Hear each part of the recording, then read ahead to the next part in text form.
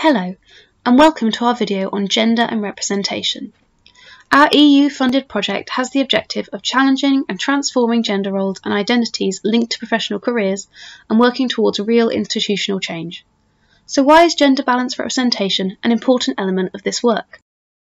In recent years, a lot of work has been done at national and European level to increase the representation of women at senior levels on governing bodies, corporate boards and other positions of seniority and leadership. Some EU countries, for example, have introduced quotas in some circumstances, such as a compulsory percentage of women as board members. For example, in 2011, a 40% quota was introduced in France for companies with more than 500 employees or revenues over 50 million euros. However, the practice of using quotas is often debated and sometimes contested. In the UK, for example, quotas were rejected and a voluntary target approach adopted instead. In 2010, the Davies Review set a voluntary target of 25% women's representation on FTSE 100 companies, to be achieved by 2015. This target was reached and then extended by the Hampton Alexander Review, which sought to achieve at least 33% of women on the boards of FTSE 350 by 2020. Most FTSE companies now meet or exceed this target, however across Europe, binding measures have been more effective at increasing representation than soft recommendations.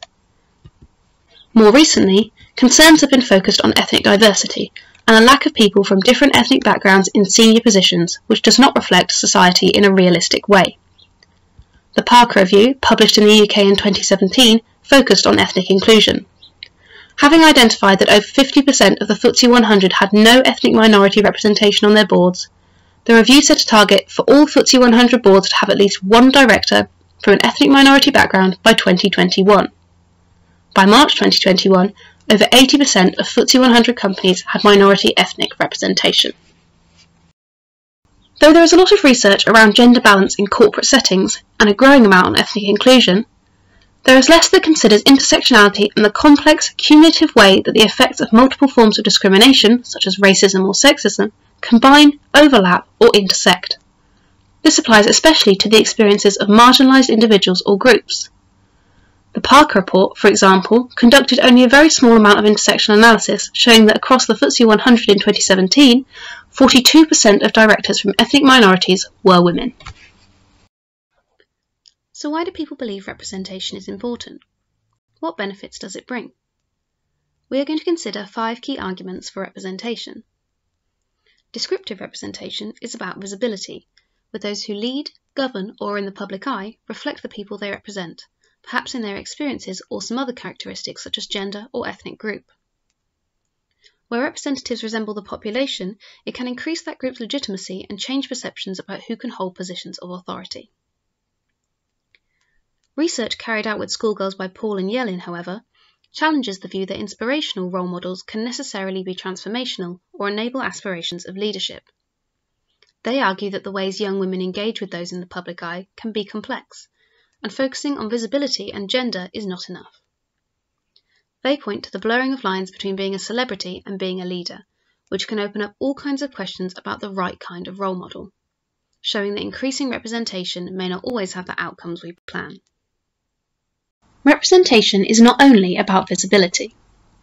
Representation can also bring about substantive transformations and advance the interests of underrepresented groups, since individuals with shared experiences or history can present the group's ideas or viewpoint and advocate on their behalf. This feeds into a moral or social justice case for representation, based on the principles of equality, dignity, respect, the fair distribution of power, resources and opportunities, and women's right to participate as decision makers. The moral case for gender diversity also emphasises an integrated relationship between the individual, business and society which forms the core argument of corporate social responsibility. A case which is often used for increasing the number of women in leadership positions is that they can bring something extra through alternative perspectives, networks, personalities, leadership styles, and skill sets. Some highlight the benefits of stereotypically feminine characteristics, such as being questioning, empathetic, intellectually honest, or having good listening skills. However, these arguments can contribute to essentialist perspectives on women and men's inherent skills and characteristics, underplaying the fact that differences, if any, are largely the product of different patterns of socialisation. Some research has shown that women bringing different skill sets creates a mixed power model that has a positive impact on profitability and shareholder value. In this way, support and justification for gender balanced representation is often justified by meritocratic arguments based on a business case perspective, which suggests that increased women's representation ultimately improves company performance. Reports from consulting firm McKinsey & Co argue that companies with higher numbers of women on executive teams are significantly more likely to outperform those with fewer or no women. Although this report cannot confirm whether there is a causal relationship here, and some studies suggest either no effect or negative effect of board gender balance on financial performance. Relying simply on a financial case for increasing numbers of women in leadership positions can, therefore, be vulnerable. There are then a number of convincing arguments for more balanced representation as a way of achieving positive change.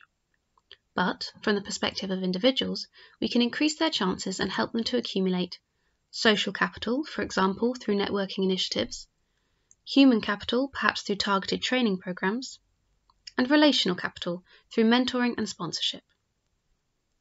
At a societal and institutional level, there are different types of positive action that can help to achieve these aims, including increasing the potential pool of diverse individuals through outreach or engagement activities to connect with underrepresented groups, targets which can make a crucial critical mass happen more quickly, and reviewing institutional structures which may be creating barriers such as recruitment or promotion procedures in order to eliminate potential bias.